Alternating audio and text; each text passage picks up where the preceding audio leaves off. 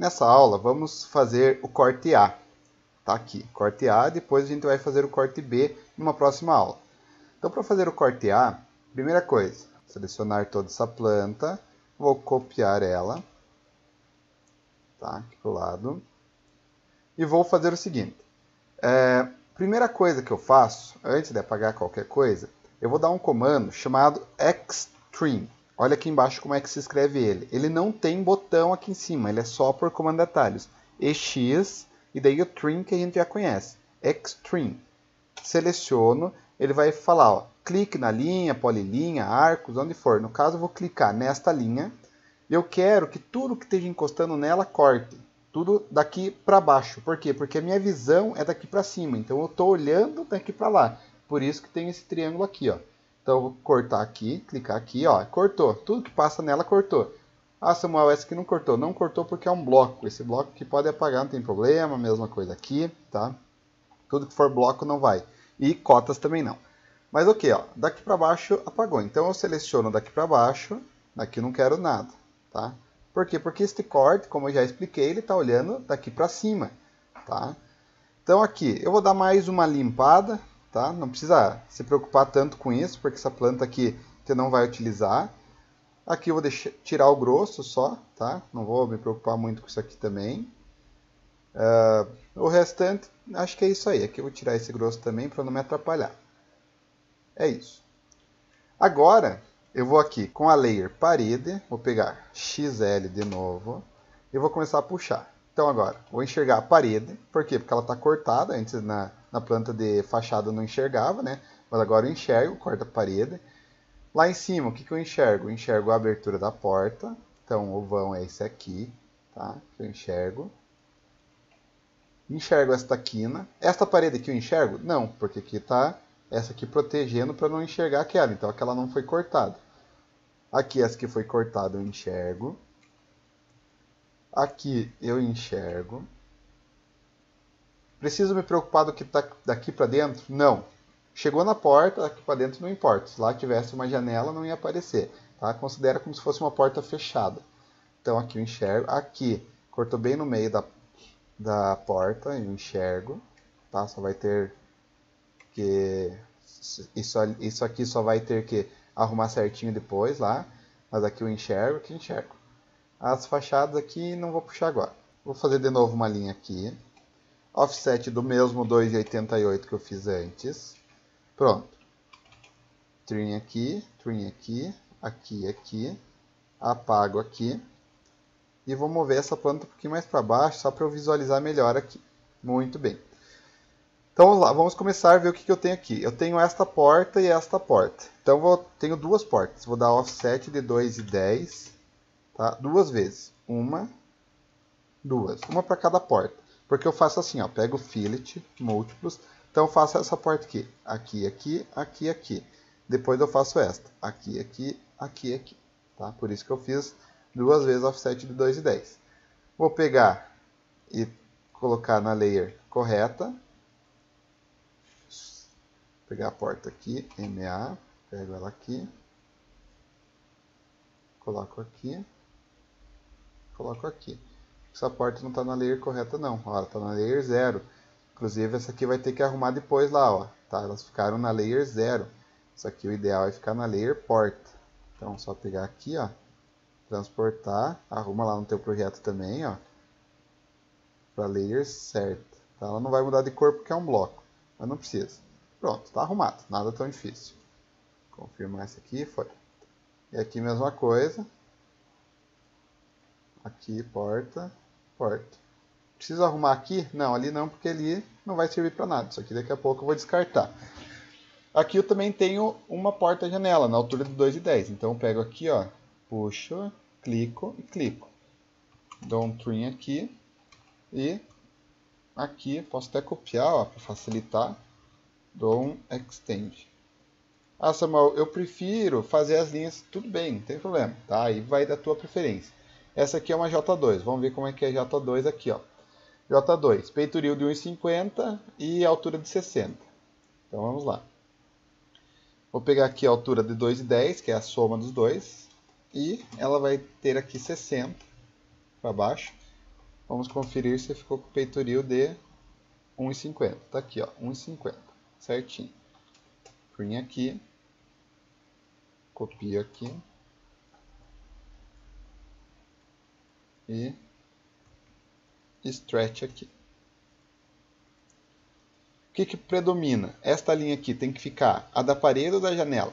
A da parede. Lembrando, sempre a mais grossa. Ó. Se eu acionar aqui linhas mais grossas, sempre a mais grossa que predomina.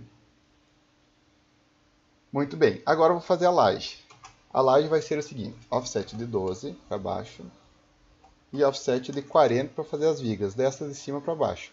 Ah, essa é a medida real da laje? Não, tá? Essa aqui é uma representação. A laje real pode ser que seja parecido com 12 centímetros, as vigas pode ser que tenha nessa faixa de 40, mas o que vai definir isso é um projeto estrutural, tá? Você não vai dizer em hipótese alguma que isso aqui é a estrutura correta. Isso aqui é representativo. Então, vou cortar aqui e aqui.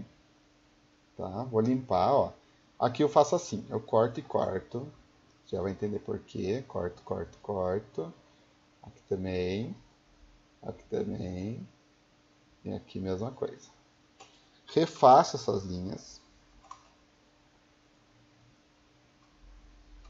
Refaço aqui.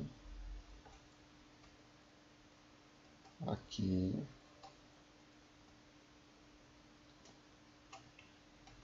Aqui. E aqui. Tá? Aqui, deixa eu ver se já tenho uma... Aqui, já tenho. Então, vou selecionar tudo. Só cuidar essa aqui não. Seguro Shift, seleciono, ela vai desmarcar. Pego aqui, laje. Tá? Vou trocar a cor dessa laje aqui, ó. Eu prefiro usar... Cadê? Laje prefiro utilizar ela branca. Ok. Laje. Lembrando, como a laje é mais fina que a parede, aqui predomina a linha parede. Aqui embaixo é a mesma laje. Então o que, que eu vou fazer?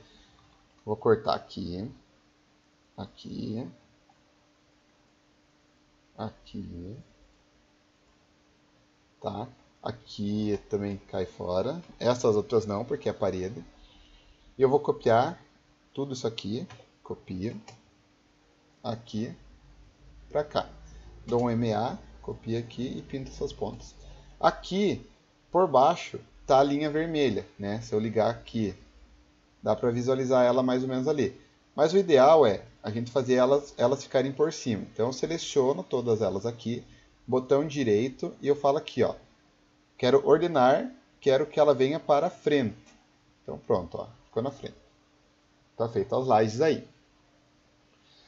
Continuando, eu vou fazer o beral aqui. Então o beral vai ter offset de 80 para cá e 80 para cá. Pegar o fillet múltiplos aqui, aqui, aqui aqui. Aqui, aqui, aqui aqui. Tá? Completo aqui com o trim, né? E aqui com o trim. Então tem o beral também de 80 para cada lado. Depois me preocupa aqui embaixo. Vamos trabalhar agora aqui com o telhado. O telhado, você vai prestar bem atenção, você vai fazer etapa por etapa.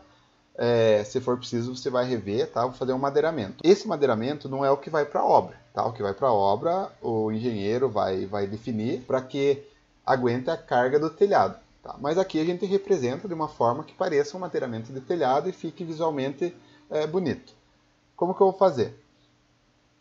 Vamos mudar aqui para telhado, tá aqui, tá? Vou salvar esse meu projeto. Pegar uma linha. Então, já sei que é 100 por 35. Grudo aqui. Essas duas linhas eu posso pagar, não me interessa mais. Aqui eu dou um mirror. E vou fazer lá, tá? O madeiramento ele vai ficar assim, ó, para você entender. Certo? Essa linha que eu acabei de fazer é esta linha aqui, ó. Tá? Então, para vocês entenderem, ó, eu vou fazer um offset de 5, que é esse espaçamento, e um offset de 15, que é esse espaçamento. E um offset de 15 de cima para baixo, que é esse espaçamento aqui. As medidas, se tiver dúvida, você volta nesse projeto e relembra por aqui. Tá? Então, vamos lá. Vou primeiro de tudo dar um fillet. Então, as medidas. Offset de 5. Offset de 15 e offset de 15. Não precisava ter saído isso aí, mas tudo bem. Offset de 15 aqui para cima. Aqui eu vou trim, né? corto aqui, corto aqui, corto aqui, corto aqui, aqui. E apago isso aqui. Do outro lado, mesma coisa. Aqui, aqui, aqui, aqui, aqui e aqui. Tá? Aqui em cima, essas duas pontas e essas duas pontas. Vou arrumar Comet Properties pegado aqui e colocar aqui. Ficou certinho. Agora eu vou fazer, né? Isso aqui é uma tesoura que a gente chama, então eu vou fazer aqui as vigas dela e as vigas invertidas dela. Primeira coisa, pegar aqui do meio. Vou fazer com 15 também. Pegar um offset de 7.5, porque é metade de 15, para cá e para cá. Aí eu seleciono tudo isso e copio a mais ou menos um metro. Então, vou jogar bem aqui para cá, ó. Vou digitar 100, Enter, 200, Enter, 300, Enter, 400, Enter, a cada um metro. Vou fazer dos dois lados? Não, vou fazer de um lado só por enquanto. Aqui, eu vou fazer o seguinte, pegar o trim, vou cortar aqui, aqui, aqui e aqui. Agora o resto aqui eu seleciono e deleto. E também ficou Vamos pegar aqui trim e limpar aqui. Vou pegar a linha agora neste sentido, aqui, meio a meio, meio a meio, meio a meio. Ah, pode ser do canto ao canto? Pode, não tem problema nenhum. Vou fazer aqui, que eu sou acostumado a fazer assim. Mas pode ser sim, ó. Ele já está o 7,5, só dá um enter para confirmar. Para cima, para baixo, para cima, para baixo, para cima, para baixo, para cima, para baixo. Apago as linhas centrais, aqui, ó, apago todas elas. Aqui. E com o trim eu arrumo o que eu preciso aqui, ó. Essa eu apago, apago lá, apago aqui, aqui também, aqui também. Apaguei, apaguei. Muito bem. Este lado, como ele é igual, eu seleciono tudo, não preciso selecionar esta, tá? Vou selecionando aqui com calma para pegar só o que eu quero. E dou um mirror, tá? Daqui para cá. Olha aí, pronto.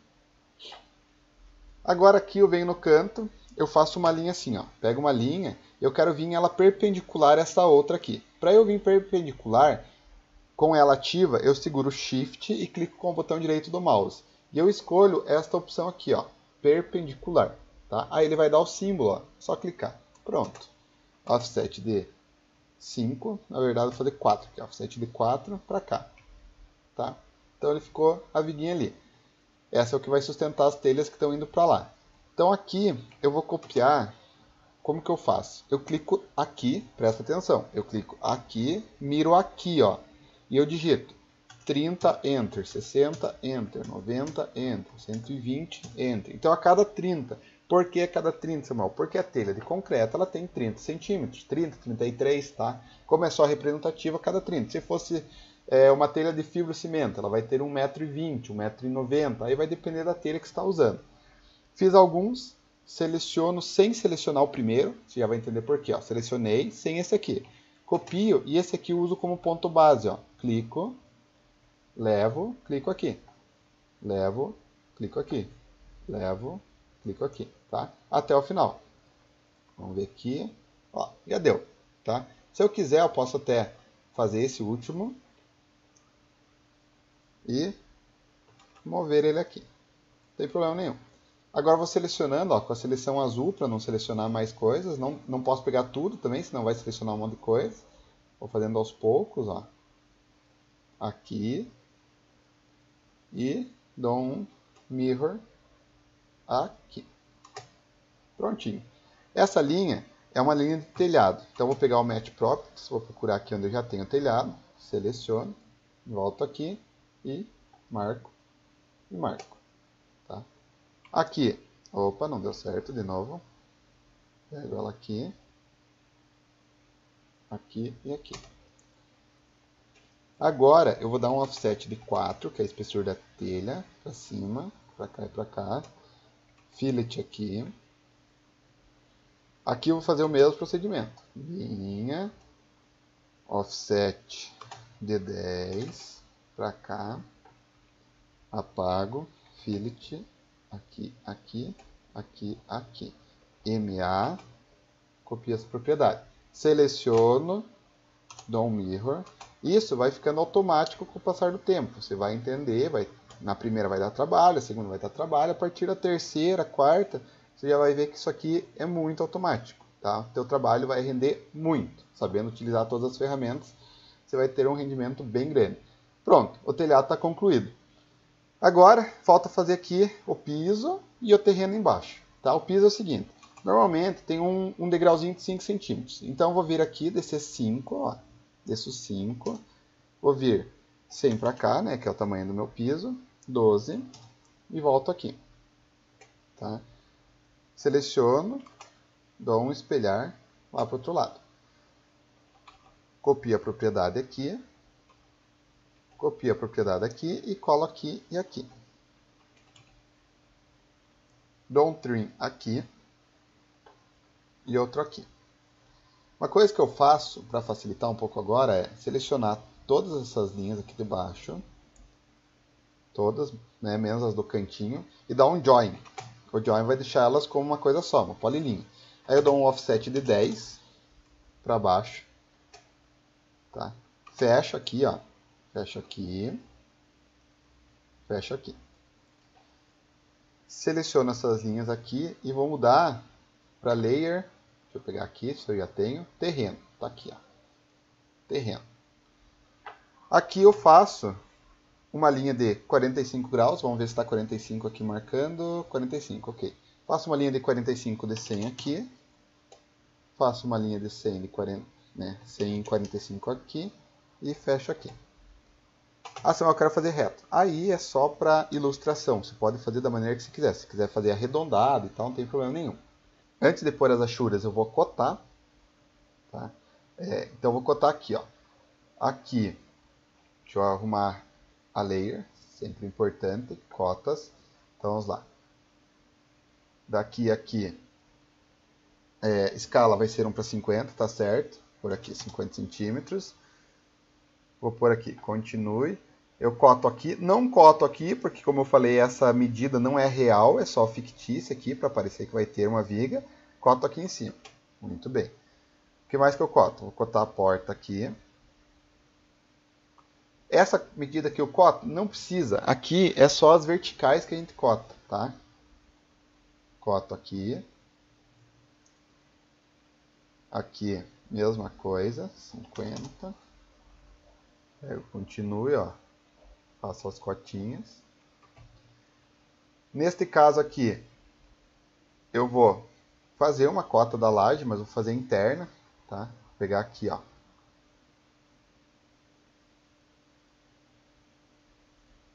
Pegar uma medida e vou fazer aqui tá? Também essa laje pode ser mudada, mas eu deixo essa cota para identificar que o total, ó, então eu também posso fazer até se eu quiser um total aqui. Um total aqui, ó. Vou fazer desse outro lado aqui para não para identificar. E por final, eu vou cotar a altura do meu telhado em relação a este ponto aqui. Pego aqui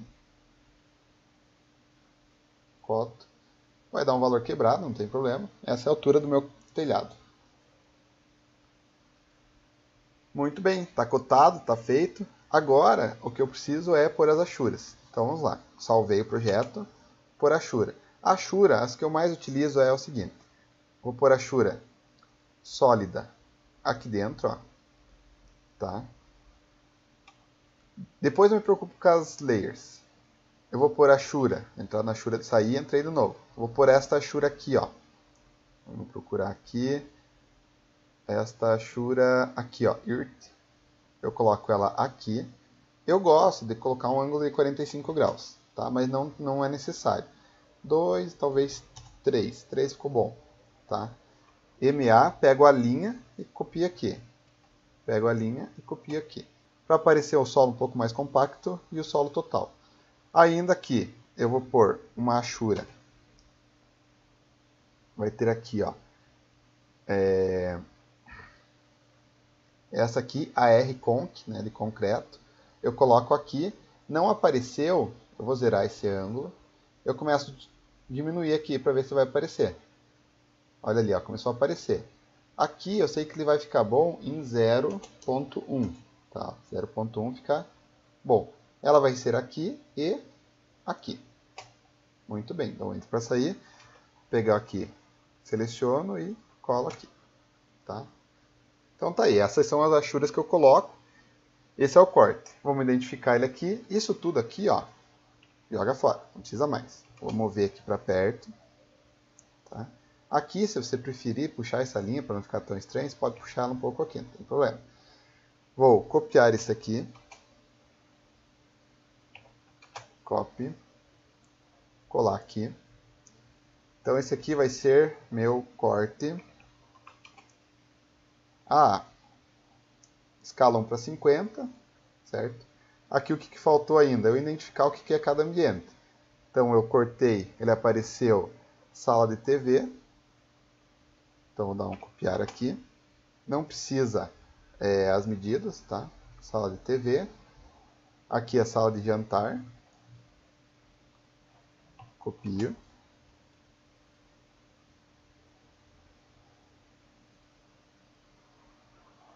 trazer mais aqui para o lado. Aqui a circulação. Opa.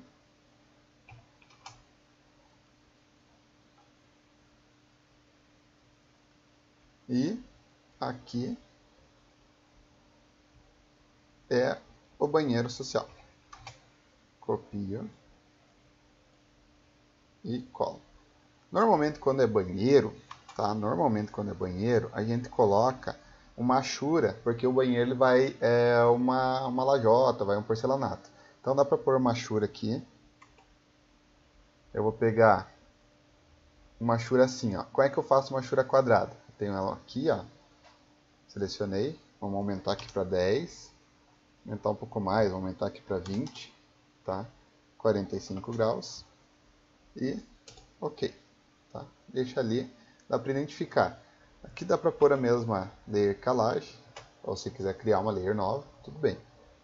Então, ele fica assim para identificar que é banheiro. Ah, mas eu quero uma retangular, Samuel, como é que eu faço? Aí você vai fazer o seguinte, você vai pôr uma chura assim, ó. Vai pegar essa reta aqui, você vai inserir ela aqui, tá? Por exemplo, 20, vamos pôr aqui é, 10, tá? Por 15. 15, Ok. Aí você vai pegar de novo a Shura e vai inverter, ó. Você vai pôr aqui 135. Daí você vai pôr lá, vamos ver assim, 30. Tá? Aí você vai ter ela retangular. Vai ser uma Shura em cima da outra. Ela vai ficar assim. Então é isso. Essa foi a nossa aula. Aula de cortes. Fiz o corte A. Na próxima eu vou fazer o corte B. Mas antes de você ir para a próxima, faz o corte A com calma rever, ver se está tudo certinho, se você não ficou com dúvidas. Caso tenha ficado com dúvidas, deixe no comentário aqui embaixo, para depois ir para a próxima aula.